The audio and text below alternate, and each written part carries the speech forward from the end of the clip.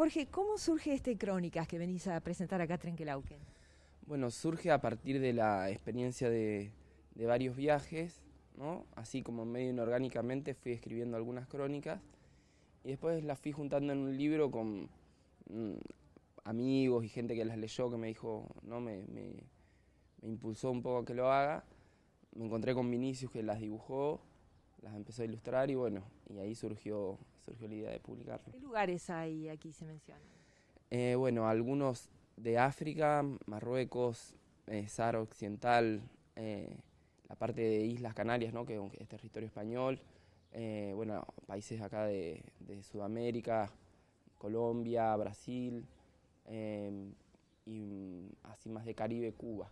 Bueno, siempre me sorprendió, me, sorprendió muchas cosas, las, diferencias eh, entre las personas, a su vez también ¿no? La, coincidencia de que siempre se puede establecer un diálogo, pero muchas, no sé, personas que uno considera mm, de, otra manera y que sorprenden, ¿no? Situaciones que sorprenden a los países árabes, ¿no? Algunos países árabes del norte de África, África que uno por ahí tiene un cierto prejuicio bastante pronunciado, ¿no?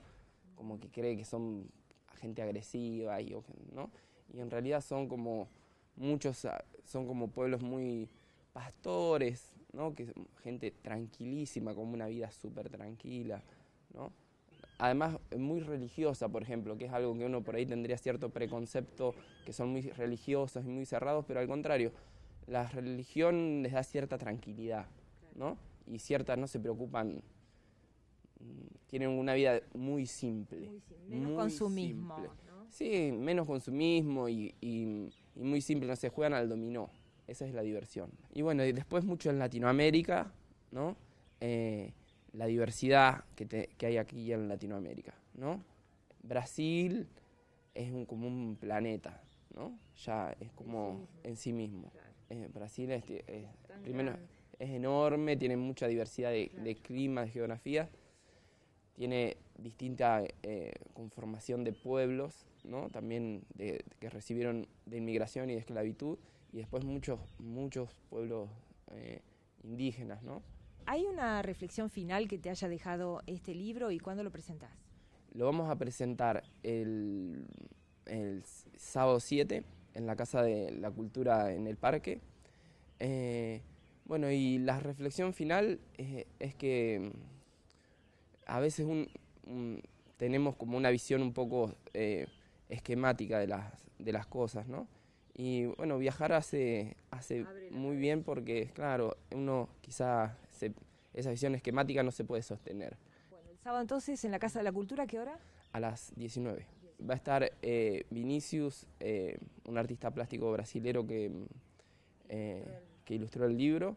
Em, y, bueno, también va a estar algunas personas que participaron eh, en la realización. Noelia, Noelia que es aquí de Trenque, una chica que es economista, que me ayudó mucho.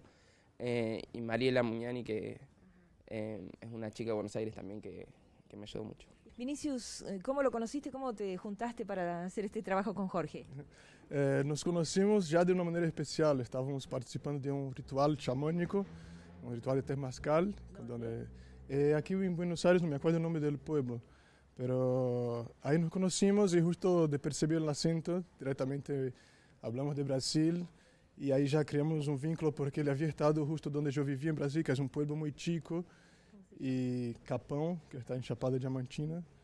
Y ahí teníamos una amiga en común. Bueno, y después él me vio mis ilustraciones y me invitó a hacer una ilustración para el libro, para la parte de Brasil.